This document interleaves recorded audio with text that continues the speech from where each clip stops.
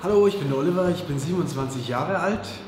Ich komme aus ganz südlich am Zipfel von Bayern, an der Grenze zu Österreich aus Burghausen.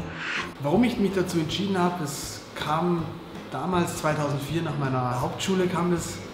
Meine Mutter hat gemeint, hey komm, mach doch mal ein Praktikum, schau dir das mal an. Das habe ich dann auch gemacht, habe dann die Sozialpflegeschule gemacht, habe dann ein Jahr mal Auszeit genommen.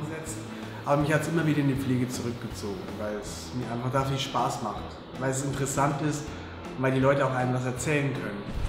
Die AWO hat, was ich so mitbekommen hat, ein gutes Image, hat einen guten Ruf, ist offen und nicht so, wie soll ich sagen, so konservativ in mancher hinsichtlich der Weltanschauung und so.